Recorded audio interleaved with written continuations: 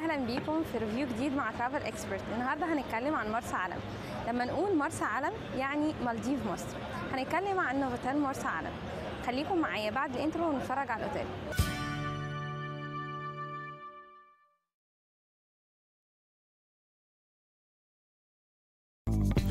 نوفوتيل مرسى علم. بالنسبة لموقعه هو بيبعد عن القصير في حدود 19 كيلو. شكل ال reception بتاعه من ال design الحديث أو من الإطار الحديث.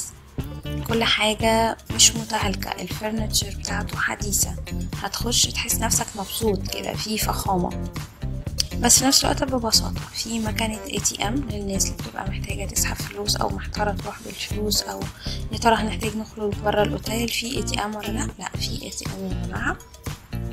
كمان في parking خاص بالأوتيل عشان الناس اللي بتسافر بعربياتها تبقى مش عارفة هتركن فين أو هتعمل إيه. في parking خاص في الأوتيل تقدروا تركنوا فيه اللي أنتوا عايزينه. الغرفة اللي إحنا مصورينها إحنا مصورين الغرفة ال double اللي هي ال standard بتاع الغرف. لكن كل غرفة طبعا حسب category الغرفة اللي أنت هتاخدها هيتغير شكلها. لو أنت واخد غرفة family room لو أنت واخد triple لو أنت واخد single كل واحدة بيتغير مساحتها وبيتغير شكلها. لكن الأساسي اللي موجود في كل أوضة شاشة تلفزيون kettle mini bar صغير التواليت بتاعك. سواء بقى لو انت واخدها double عادية اللي هي بحوض واحد لو انت واخدها ال family room هتبقى باتنين حوض وغرفة shower كبيرة. يعني دي كلها حاجات بتختلف على حسب ال category اللي انت هتاخده. لكن اللي يهمنا نتكلم فيه إن الغرف نظيفة نظيفة نظيفة علشان الناس اللي بتبقى مقلقة الناس اللي بتبقى قرفانة الناس اللي بيهمها أهم حاجة الأوضة. لا يا جماعة الأوضة نظيفة ال furniture حديثة مش هتحسوا نفسكم متضايقين مش هتحسوا نفسكم مش متأذين وانتوا قاعدين. في اوض على ال sea view وال garden view وعلى ال pool view طبعا على حسب اللي أنتوا هتختاروه. الأوتيل فيه أربعة pool اتنين كبار وواحد relaxing وواحد داخلي. متاح شوية ألعاب بسيطة جدا tennis corner ويعني ألعاب بسيطة خالص عشان لو انت معاك أطفال. طيب سياسة الأطفال بتمشي إزاي؟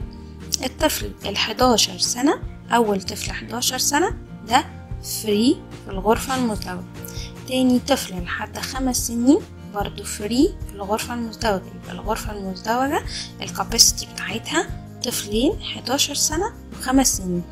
بعد كده لو انت الأعمار اللي معاك أكبر من كده بتدفع نص تمن الفرد الكبير في الغرفة المزدوجة في مدة الإقامة. طيب ناس بتتكلم عن الفندق أو عن الأكل. ناس كتير قوي بيهمها البوفيه. البوفيه يا جماعة حلو جدا وفيه variety عالية جدا وجودة الأكل حلوة جدا. طعمة لذيذة.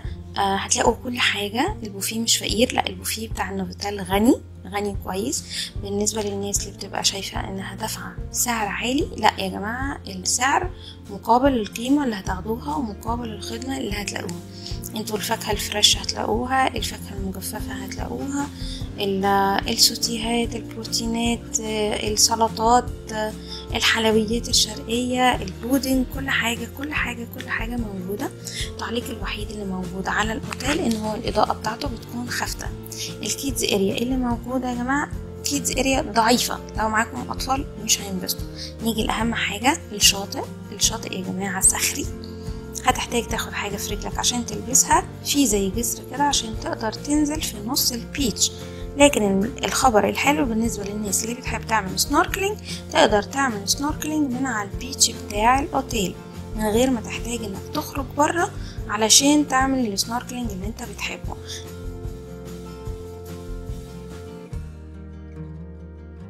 الكلام المهم. إمتى اختار الأوتيل ده وإمتى ما اختارهوش؟ اختاره في حالة إن إحنا اتنين couple أو أسرة بس هنقدر نسافر طيران. أو هنسافر إحنا كلنا مع بعضينا في باص بس هنستحمل تسع ساعات سفر لأنه مرسى علم تسع ساعات سفر. إمتى أختار الأوتيل ده أختار الأوتيل ده في حالة إن أنا عندي استعداد أعمل snorkeling أعمل سفاري لكن مش مش عايز activity تانية. يعني مش عايز أخرج مش عايز كافيهات مش عايز الحاجات دي.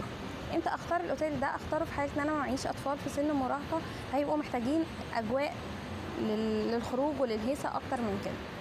طيب إمتى ما اختارهوش. ما اختارش الأوتيل ده في حالة أنا من الناس اللي بتهتم بال beach أو بحب أنزل ال beach لأنه ال beach هناك صخري فمش هتستمتعوا أو هتحتاجوا إنكم تلبسوا حاجة في رجلكم. ما تختاروهوش في حال إن أنت عندك أطفال محتاجين kids area محتاجين يخرجوا محتاجين يشوفوا الدنيا لأن ال activity المسموحه هناك snorkeling أو سفاري ما تختاروهوش في حال إن أنت مش هتقدر إنك تسافر تسع ساعات متواصل بأطفال كتير أو بشيله كتير أو هيبقى ده بالنسبة لك شيء مرهق أو مش من الناس اللي بتحب تستمتع بأجواء الهدوء والاستجمام. مرسى علم يعني استجمام يعني هدوء يعني snorkeling يعني سفاري خليكم معايا ما تنسوش تعملوا subscribe وتفعلوا الجرس Bye bye.